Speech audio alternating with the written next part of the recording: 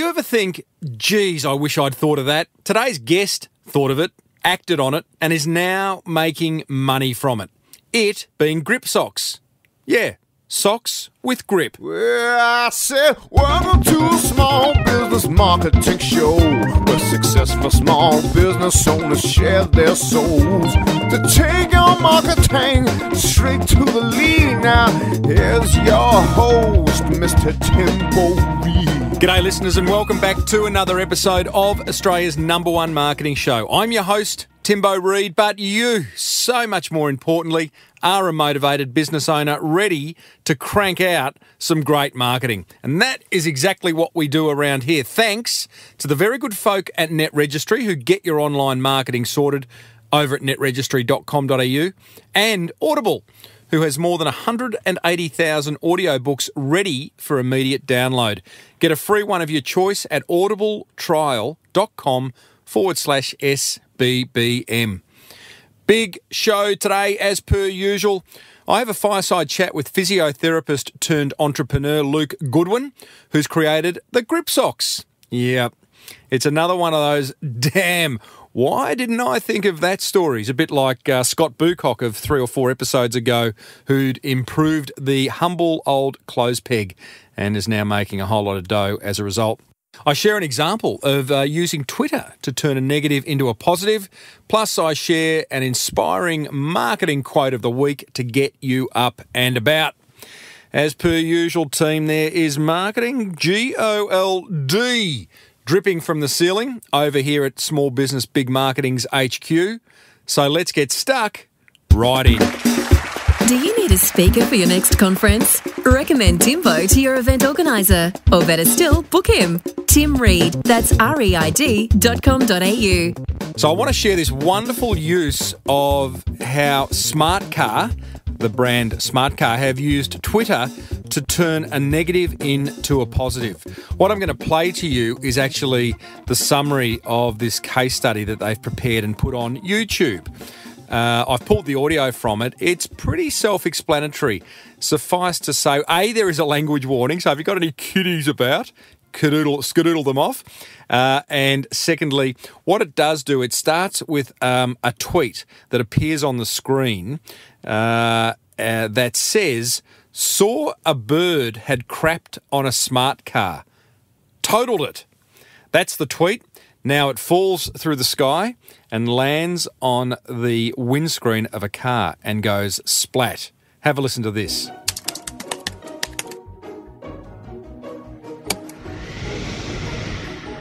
When you're the smallest car in America, people talk a lot of shit about you on Twitter. So how do you change that? You fight their shit talking with some of your own. We started responding to some of the haters and found one who took a shot at Smart's perceived lack of toughness. But what many don't know is that Smart's unique Tridion safety cell can withstand 9,000 pounds. So we did the math. We found that pigeons produce 25 pounds of poop per year, which means Divide 25 pounds by 365 days and you get 0.068 pounds per day, divided by approximately 37.5 poops per day, and the mass of a single pigeon poop comes to 0.002 pounds. So take the 9,000 pounds of force divided by the mass of a single pigeon poop, and you'd need the waste of 4.5 million pigeons to waste a smart. But what about the bigger birds? The numbers on turkeys and emus weren't as easy to find, so we called some friendly farmers and got the stats right from the source. We put it all together and sent our reply. Then the shit hit the fan. Our jokester blogged about it. His post got picked up by Reddit, where it hit the number one position twice. The next morning, it was making headlines around the world. Hey, makers of the smart car are winning a Twitter war and they're using toilet humor to do so. In less than three days, we generated over 22 million impressions, increased our Twitter mentions by over 2,000%, and as searches for Tridion safety cells spiked over 300%, the world discovered the truth about Smart's safety. Now, Smart's unique attitude is changing the minds of more and more critics while setting the new standard for how brands should interact in social. Best of all, we're turning the shit talking into respect. Isn't that a great use of Twitter and turning a negative into a positive? So often we think that's not possible, but absolutely it is, and the, the publicity they got was extraordinary. A big thanks to Lindsay and Sarah over at The Great Changemaker for bringing this case study to our attention. Follow Timbo on Twitter at Timbo Reid. That's R E I D. He loves a good tweet. Righto, let's get stuck into today's guest. It is Luke Goodwin. Luke, uh, at the age at ripe old age of 24, set up his first business, a physiotherapy practice.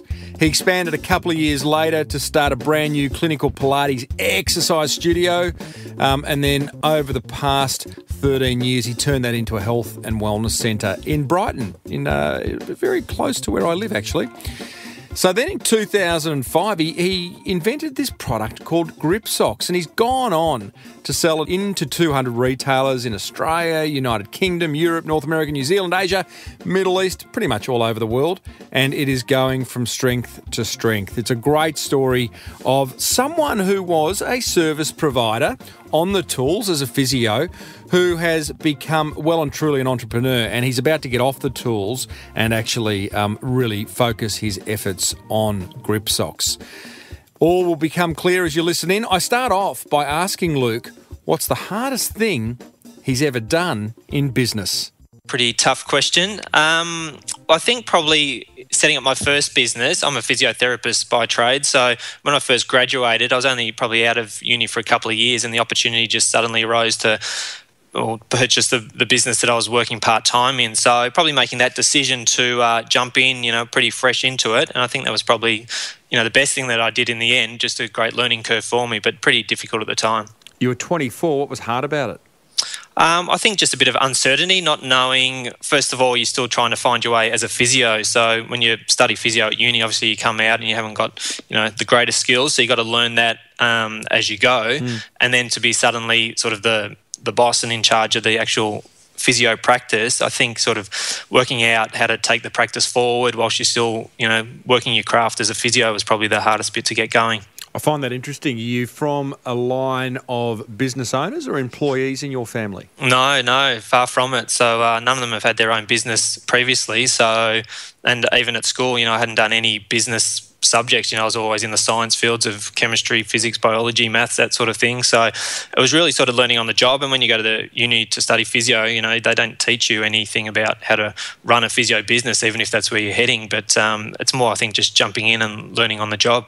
Mate, that's uh, well done for you, to, to, you for doing that. It's, it's a big thing. You obviously didn't give it a lot of thought. Otherwise, you might not have done it. no, I think it, as I said, it came sort of upon me pretty suddenly. So it was either, well, you know, if the business gets sold to someone else, I might be out of a job. So I might as well just jump in. As I said, I was working part time at this practice and one at another one. So it was more or less, well, you know, what I do, do I give up the other position that I had, you know, going and just run full time into this one? And I just thought, well, that's probably the way to go. Now, have you still you've still got that practice and you've built it into a wellness centre, yeah? Yeah. So I started off just running a, small physio uh, practice, and then the opportunity again arose. Funnily, how things turn out, but um, had the opportunity to set up a Pilates exercise studio down in Brighton here in Melbourne. Mm. And um, so I combined the two. And again, I was at two different locations one in Chadstone, one in Brighton. And then um, decided to leave the Chadstone practice, just really focus on growing the, the business down in Brighton. And yeah, so turned it into more of a physiotherapy and clinical Pilates exercise studio, and then just a bit more of a health and wellness centre where we had other practitioners like a massage therapist and just some other fitness instructors in there. Mate, you like to make it hard for yourself. So you've got one practice going, you see an opportunity to create another practice in another suburb, and yep. then you go, you know what? I am going to go from being a service provider in terms of a physio to a product manufacturer in grip socks. Uh, oh, you know, you've got to keep people guessing, don't you? Yeah, well, I think I, maybe it's just me, but I'm always up for a bit of a challenge and maybe get a bit bored after every few years. So I thought, you know, why not? But this more or less, this Grip Socks product came about from my clients at my Pilates exercise studio who were complaining that they were slipping over when they were doing their exercises on the uh, Pilates equipment. So hold that thought because I want to get to grip socks, but I am interested in that transition from being a service provider, being on the tools as a physio. I mean, you were effectively on the tools. Yep. Um, so being a service provider and then becoming a product manufacturer, two very different skill sets. So, what was that? You're in that transition phase now. What's it like? Oh, it's been an interesting journey for me. Um, and again, it was another thing that I really wasn't familiar with at all. I had no idea about, you know, bringing a product onto the market. So for me, I think it was just more about uh, reading. Making it hard for yourself. Well, yeah, make it hard for myself or just reading as much information as I could mm-hmm. about, mm-hmm. well, how was I going to do this? Was it actually going to work? You know, was it just maybe a bit of a fleeting idea that, you know, wasn't going to go anywhere. But I think the more I sort of read into it, the more I looked into it. I spoke to a few people, and they thought, well, maybe it is a good idea to try it. And I thought, well, you know, why not have a crack at it? What were you reading into? The uh, like how to launch a product or how to well, yeah. What, what was the research that you needed to do? Well, first of all, I had to work out how I was actually going to get the product made. So, fortunately, I had a contact that was actually a sock manufacturer here in Melbourne. So that was a good starting point for me. Um, and although they couldn't actually make the product for me here, they had uh, contacts overseas that could do that. Um, so I was looking into that, how to bring out the product. Then I had the whole thing about well, uh, things like you know branding and marketing that product was I actually going to be able to sell it? How was i going to sell it? And then protecting the you know intellectual property of that product. So all those things that i didn't know about i had to read up on. Listeners i'm speaking with physiotherapist entrepreneur and grip socks creator luke goodwin. Before we continue let me share two ways to grow your business. A common complaint I hear from small business owners is that marketing their business online does their head in. Sound familiar? Is your website not producing the results you'd love? Is it hard to update? Does it rank poorly on Google? If your head's nodding, then maybe it's time to give NetRegistry a buzz. They'll get your online marketing sorted quickly and cheaply. NetRegistry actually host the Small Business Big Marketing website. You don't need to be a pro when it comes to the internet team because they are and they make it simple and straightforward, getting you a domain name, website hosting, design, whatever you need to market your business effectively online.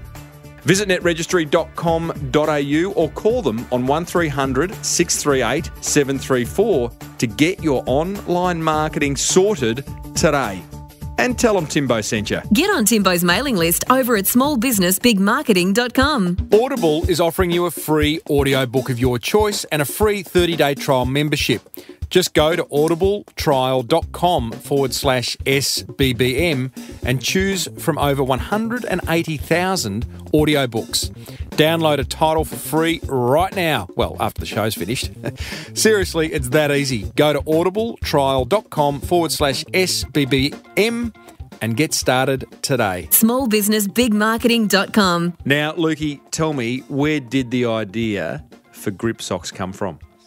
Well, again, it came from my work as a physio, and I was running this uh, Pilates exercise studio. So I'm not sure if you do much Pilates yourself, Tim, but not, not uh, yet, Luke. Uh, not I, yet. But the core does need some work. My wife does it. Uh, it's on the list. Okay, well, you have to pop into the studio. We'll give you a free session. Thank you very much. But um, so most of my clients, well, all of them are exercising in either socks or bare feet, and they were using the Pilates exercise equipment, which a lot of times you're standing on it, doing different exercises, and a lot of them were complaining that they were not getting good uh, footing on the equipment, so they were slipping over, and one that was not good for their performance because they couldn't really do the exercise properly properly. But more importantly, it was actually a bit of a safety issue. I didn't want anyone slipping and you know causing more injury. So. Um, I had to look around to see if there was anything that was on the market that I could be using, and uh, the only thing I could find was the little toddlers' socks when they're first learning to walk. That they've got a little bit of grip on them, so they're not slipping over on the floorboards. Um, but nothing else that I could really find. So I thought, well, here's my chance to maybe have a look at what I can do myself. I, I find that amazing. I knew I knew I'd seen them before, and it was when we had kids, those little rubber bases on the socks. So you're telling me, and this is like uh, about ten years ago, isn't it? There was nothing out in the marketplace in the world like grip socks. Well, I mean, I couldn't find anything that I wanted. I mean, there might have been because I've now spoken to people who said, "Oh, years and years ago, before that, that there was something that people were using." But I think for me, it was more you know, if there was a product there, one, I couldn't really find it, and two, it was more taking it into a new market where people weren't really utilizing it. And I think sometimes that happens is that Yeah, right. entrepreneurs might not be a inventor of a particular product, but they might see a, a gap in the market for a particular product, and then they can they can run with it. I just I just had an idea for a guerrilla marketing um, advertising campaign for Grip Socks, Luke. Yeah, what's that? So you know that famous scene when Tom Cruise in Risky Business I've thought of that. slides across into the middle of the doorway. Yeah. If he was on Grip Socks, he'd just take a big tumble. Well, that's what I was looking at actually running an ad like that where uh, um, someone was going to do something similar to that and they couldn't do the slide because they had their grip socks on. So we must be thinking along the same wavelength. Well, we are, and it's a no-brainer. Uh, two great minds have come together with that idea. Uh, I think you've got to hit up Tom Cruise to start with. Are you a Scientologist by any chance, or um, uh, no, I'm not. You're not. You, you haven't got his phone number, have I, you? I haven't, but six degrees of separation. We'll find someone who has. I, I, I honestly like. I mean, we laugh at that, but I'm now convinced that these things are easier than you think. You know, I've had a previous recent guest who organised to have people uh, have dinner at the feet of Michelangelo's David. Uh, that lady uh, from. Uh, Three Bird Nest, who was on recently, the biggest seller on Etsy, she got um, recently Taylor Swift to wear one of her her um, bang, bangles. You know, I Yeah. don't. You know, Tom Cruise he might be scratching around for a couple of dollars. Make a crazy offer. well, next time he's in town, I might uh, just see if I can uh, maybe meet him at the airport and throw a pair of socks at him or something like that. Anyway, we digress. Uh, so you had the idea, you thought you're going to do this, and the rest is history. Grip socks are there. Wrap some numbers. So what we've got, listeners, is, is a pair of socks with essentially rubber soles so that you, you retain grip. So, what, Luke, wrap some numbers around where you're at this current financial year in terms of, you know, pairs sold, uh, distribution channels, number of staff. What do you got?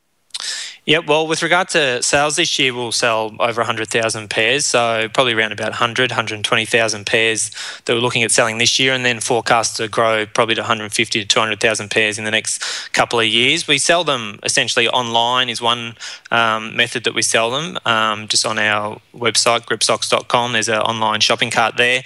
But the bulk of our sales are actually to um, another big market, which we haven't really mentioned yet, which is the hospital and aged care industry. And that's something that I'd sort of really looked at when I was first bringing it onto the market. Um, but we've got over 200 retailers in 13 different countries that we now sell the product.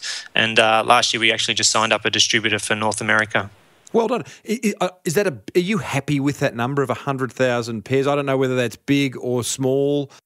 Um, I'd love it to be a lot more. So we're sort of certainly working towards that. But um, from where it sort of started off with, you know, in the first few years where we might have been selling, you know, anywhere from 10,000 or 20,000 pairs or something like that to sort of having it grown. Um, and again, because I'm still actually been working in my physio practice uh, each day. So it's only now that I'm really just cutting back and, and looking at, you know, just continuing to, to grow this other business. It's got to that point where, because it's really only still a couple of us that are running the uh, the, the business, my wife and I, she's a, uh, a nurse and works part time nursing, but she also now uh, is heavily involved in the business. Lovely pedigree, you two, for grip socks. You've got a physio and a nurse. That's eh? right. Can't ask for more than that. So, would I be right then to say that you, you are yet to really lean in and commit to grip socks? Therefore, those numbers may be quite modest. You, Yeah. They, they, they, they could potentially be much greater if you really just commit to this holus bolus. Yeah, and I think that's where I need to decide. Probably at the moment, that's what I'm looking at is doing that. Is you know really, you know, going 100% into that um, to really get it to where we you know think that it can get to. It really, I think, is going to require that to to really go straight into it. How does it feel to think? Because I imagine, you know, physios are very, it's very tactile, it's very personal. You're dealing with people all the time. You're making a really big difference to to people, you know, there and then. Uh, you are going to go then to marketing a product, probably sitting on your bum a lot of the time, or standing because you're a physio, mate. So you'd be standing. Yeah, that's right. You've probably got the grip socks on during working hours. But Yeah. um, you know, there's going to be a big transition. Are you you're looking forward to getting off the tools? Yeah, well, I think it's, it's definitely going to be a challenge for me because, you know, I've been a physio now for around about, uh, what's that, 17, 18 years. So it's been a lot of hard work growing that business. But, um, you know, I think I'm ready to do that. Um, you know, if it may be that if I need to do some other physio from time to time, I'm always going to have people uh, wanting some advice or some treatment here and there. So, you know, it may be that that is still something that I can look at as well. But the focus will really be now on the Grip Socks product. Been a whole lot of competition come your way since launching? There has been. There's probably been half a dozen or so companies that used to purchase my socks that have uh, since brought out their own. So, um, you know, we have registered trademarks that obviously people can't use um, or shouldn't be using. We've had a few issues with people that probably shouldn't be doing things that they are. But um, as opposed to, you know, them actually you know using a particular or similar product, then um, there's not a lot that I can do from from that point of view. Are yours the best? Of course they are. Uh, why? Why? Well, I think the main thing that sets us apart is that um, particularly getting back to this uh, bigger market that we're in now with the hospital market, there's a huge problem with people falling over in hospitals. Um, and now all hospitals in Australia, in order to be accredited, have to be doing something about falls prevention. Um, and over the last few years, we've actually had quite a few hospitals that have done some trials with our socks and had some really good results with, with the socks. We had a few independent trials done, um, one of them published in a, uh, in a journal in America. So when I'm speaking with a lot of these uh, organisations, the first thing they want to know is, well, you know, why am I going to buy yours as opposed to a different brand? And when we um, provide them with a lot of that material, that really sort of uh, sets us above a lot of the others. Have you thought about doing a JV with what? What's a big sock manufacturer, Bonds or a Holeproof? Yeah, I haven't really. Um, I would have thought that would credentialise it. Just uh, it'd kind of make it look like a, I don't know, take it take it to another level. Yeah, potentially. I don't know. I mean, it's certainly something that might you know help with increasing the volume. But I think that I, uh, the thing I've found with a lot of the organisations that I deal with, I think they like the fact that I'm a bit more coming from a physio background, a personal background. You know, they they get that I understand what they're talking about in regards to falls prevention. And I think sometimes if you go with some of these bigger companies, it's all at the end of the day just about the dollar and you know how many pairs of stocks they're selling. And yeah, that might be great that it might boost our sales and our revenue. But I also get some satisfaction in dealing with speaking directly with um, these people from the hospitals, you know, the directors of nursing, the physios, the occupational therapists, and listening to what they're having problems with in the hospitals and how my product, when they come up to me at the conferences that I go to and they say, look, we're using your product, it's fantastic, we've reduced our falls rates, then um, I'd probably get more satisfaction out of that than anything else. What about, excuse me for just contributing all these marketing ideas to you, Luke, but mate, you know I can't help myself. yeah. Um, what, what about adding some personality to Grip Socks, maybe doing special editions, doing licensing agreements with, I don't know, Simpsons or, you know, because you know, some of these oldies who going to whack on these Grip Socks, they, they, they like a laugh. Yeah, no, true. I I agree. Um, there are. I mean, there's other uh, companies that I've looked at that special. Oh, you know, they work in the healthcare industry, so there's ways that we might be able to do something where you know, if people are purchasing their product, then the the grip socks can be involved in that. So there's certainly things that that I've looked at from that point of view. I might even give the AFL a ring and we can get some Grip Socks in uh, all the different teams. What? Just do them in Hawthorn colours, mate. You know, that's the only. Yeah, yeah, it's the only team. It's the only team. Yeah, no, the Mighty Saints, you've got to have some of those. Overseas listeners, Australian rules football is what we're talking about there. Now, Lukey, um, marketing grip socks, mate, what's the most effective form of marketing you do? Well, I think, as I just mentioned, I usually attend a few conferences each year and I have an, an uh, exhibition stand set up. And I think, from my point of view, being at you know still quite a personal issue and product for the falls prevention market. I find that works really quite well for me. Um, I do a little bit of social media, so I'm on Twitter or LinkedIn and those sorts of things. So I read a lot of articles and then I can um, you know retweet anything in regards to that. So my um, socks grip socks brand gets a bit of uh, publicity and awareness from that point of view. Um, and then I just do a little bit of advertising in some of the industry magazines as well, where you know the decision makers in a lot of those organisations might uh, see the product as well. But essentially, you know, a lot of it is just getting out and, and speaking with uh, these people at the conferences. Conferences quite that's quite a, an expensive strategy relative to others. I mean, you've got travel, you've got to book, you've got to get a stand created, all that type of stuff. Uh, so that is just still even even now when you lean in you think you'll do more conferences or you'll actually launch some other marketing strategies once you're full time on it? Well, I'm looking at a bit of both. So again, just looking at you know the whole social media and just you know feeling which is going to be the best avenue to continue to to grow the product. That that fascinates me that you keep raising social media. Like I mean, you probably as a listener of this show, you probably know my view that. Geez, it's bloody hard finding a business that's really making social media a primary marketing strategy for them. Yeah. Um, but you you're pretty upbeat about it. Well, I just think that it just gives you you know greater you know a global um, ability to to hit people up. I mean, I go to the conferences and yeah, you get a, quite a few people there, but that can be sort of it might just be within Australia or it might be yeah some international delegates there as well. Um, but the other thing I find on social media is there's a lot of conferences that are happening around the world, and pretty much every conference has its own you know Twitter handle or hashtag. So I can actually participate in a lot of overseas conferences without forking out the thousands of dollars to, mm-hmm. to go and appear at them or set up an exhibition stand at the conference.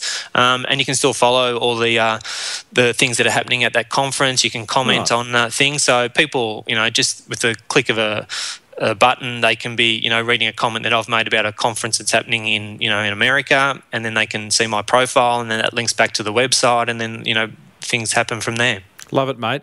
Uh, are Gripsox going to make you rich? Um, well, they're doing all right at the moment, so um, I'm happy with how things have been progressing. But I think there's you know such a big scope in the future that uh, you know maybe one day I can retire and sit on a beach somewhere and uh, in, in your socks. in my grip socks and my speedos. What do you think of the look of, of socks and uh, sandals, just out of interest? Because I think it's a highly practical uh, form of footwear but it doesn't necessarily look good. How, how do the grip socks look with the sandals? Well, I don't know. I've actually worn them with uh, sandals. So there are a lot of people that wear the socks within their in their shoes, and even though they're not designed, really, really, for, yeah, a lot of people do. I've actually got a few sports people at the moment that I'm speaking with who are wanting to wear them inside their uh, footy boots, soccer boots, or something like that, just to see if they're uh, helping with a bit more grip on their and their within their foot. One of the things I love is about business is when you hear people using your product or your service in ways you never imagined. Yeah, well, that's true. I mean, initially, as I said, when I brought it out, it was really mainly focusing on the Pilates and yoga market, but I always had that in the back of my mind, the whole hospital and aged care, because, you know, there's stats show that one in three people over the age of 65 are having a fall each year, and it's a huge problem, a huge burden on in the community with the financial costs, the emotional costs, and everything like that as well. But yeah, I often get an email from someone who says, "Yeah, I'm wearing them on my uh, yacht when I'm out sailing because it's really slippery on the on the deck of the boat in my yeah. thongs." You know, I've had I know a lot of people who've slipped over in their thongs on a boat because it's been so wet, so they're wearing them for that purpose. Um, you know, people wearing them now for things like uh, you know windsurfing or kite surfing and that sort of thing. People wear them in the pool, um, and because the floors of uh, the pools can be quite slippery, so they're wearing them when they're doing their hydrotherapy in the pools or their water aerobics and that sort of thing. So there's all sorts of different avenues, and then people just wear them around the house. You know, they like to if they're not liking wearing shoes around the house and they got slippery floors, then uh, they can be wearing them around the house as well. Lukey, I love your work. Well done. Uh, I look forward to hearing how uh, you go once you really do lean in with yourself and your wife at the helm. And uh, please contact me once Tom Cruise has said yes, and I'll just come along and I don't know, be backstage. All the best, mate. No worries. Thanks for the chat, Tim. Appreciate it. Hope you enjoyed that interview. What a great story, hey? If you want to uh, hit Luke up on Twitter and let him know you heard him on the show, you can find him at Sox, S O X underscore man socks underscore man. So, my top four learnings thanks to Net Registry and Audible, having had that little fireside chat with Lukey. Number one, who's using your product or services in ways you never imagined? It's a great question to ask. And how can you encourage more of it? Number two, look for problems like Scott did uh, with his Hegs. Brian Singer, past guest, the starter and founder and uh, creator of Rip Curl wetsuits, he found a solution. Are you staring problems in the face that you are yet to solve? There might just be some untapped revenue streams in your business. Learning number three combine old school with new school marketing. I love Luke's use of trade shows and social media. And number four, entrepreneurs may not be the inventor of a product, but they do see a gap in the market for it and run with it. I liked what Luke said about that. You know, we don't have to invent everything, but we can identify gaps and problems that need solving. Hope you learned something from it. If you did, action it immediately. Get on Timbo's mailing list over at smallbusinessbigmarketing.com. Some very smart person once said, Sell the problem you solve, not the product. smallbusinessbigmarketing.com. Nearly at the end, team. Next week, we're joined by a young university dropout who started selling smoothies at his local market to three years later founding Amazonia, a multi million dollar health food business. Great story this young fellow has to tell. If you're serious about taking your business to the next level, then join hundreds of motivated business owners inside the Small Business Big Marketing Forum. You can join over at crankmymarketing.com. It's the best 49 bucks a month you'll ever spend. Be sure to hit me up on Twitter at Timbo Reid. That's R E I D. Be sure to use Net Registry to get all your online marketing sorted and grab your free audiobook over at audibletrial.com forward slash SBBM. Great service, both of those.